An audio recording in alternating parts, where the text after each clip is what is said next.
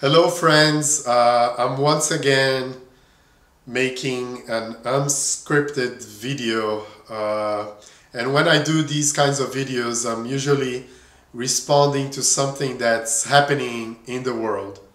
This week, we had the speech of Bolsonaro, Brazil's president, at the UN General Assembly.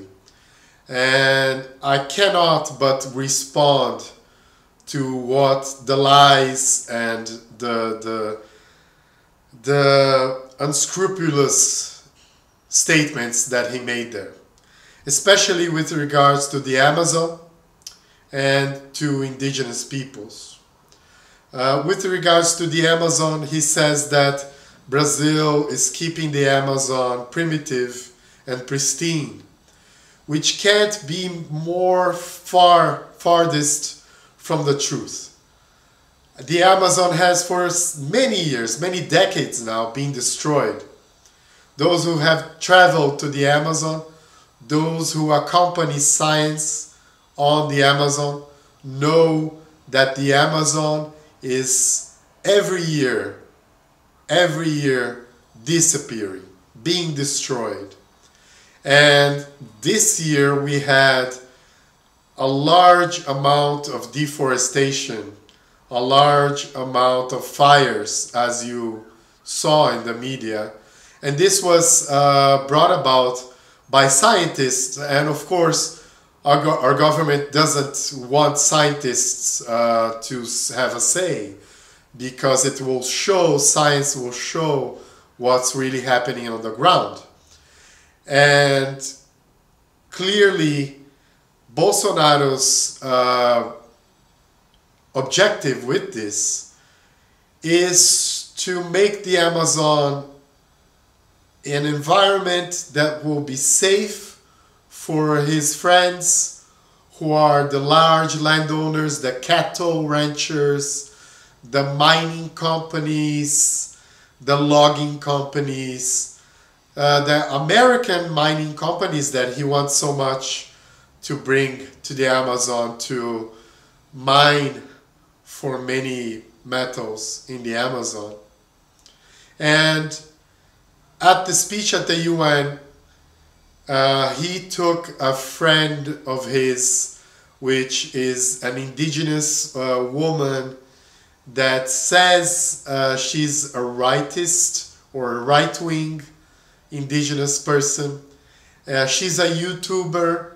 Uh, she's well known by us uh, for a long time now. By myself, I have filmed her before when many years ago she was uh, campaigning against the Belo Monte hydroelectric dam project. So many years ago, she was an activist uh, against uh, Belo Monte Dam, against uh, large hydroelectric dams in the Amazon, and she said she was for the environment. And now uh, she's being shown her, showing herself as a right wing uh, indigenous person without ever defining what right wing really means for her.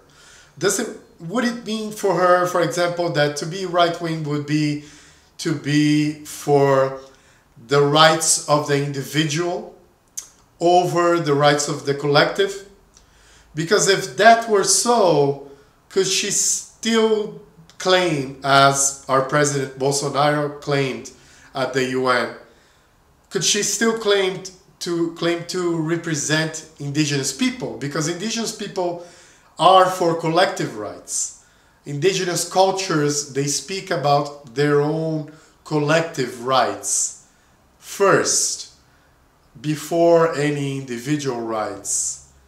So if she is speaking uh, she's saying she's right wing, then she cannot really represent any indigenous community because indigenous community do not depart from the idea that the individual rights should uh, be come before collective rights.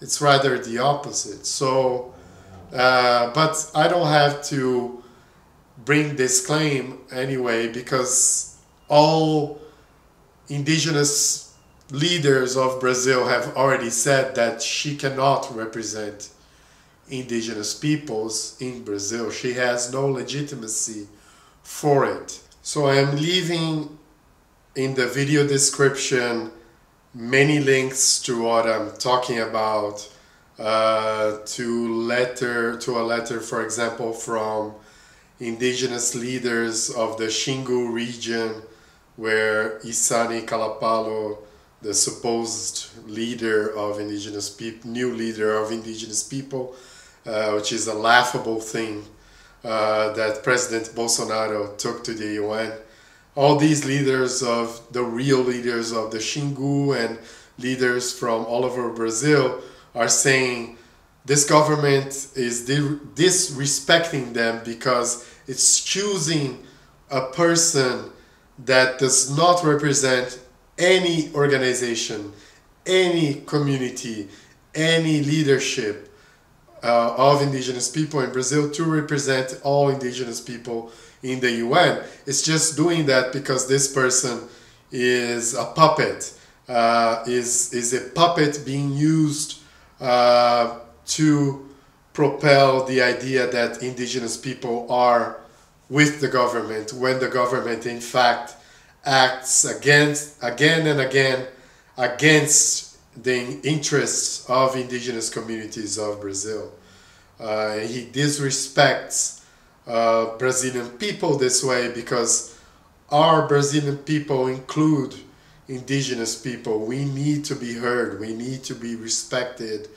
Uh, the forest needs to be respected as part of our community as well. And this government certainly cannot speak for the Amazon rainforest in no way, in no time. So anyway, that's it for today. Uh, I think you know by now that our government of Brazil is a fraud. Anything it does is a fraud. It's against its own community. It's not working for the interests of Brazil or of the world.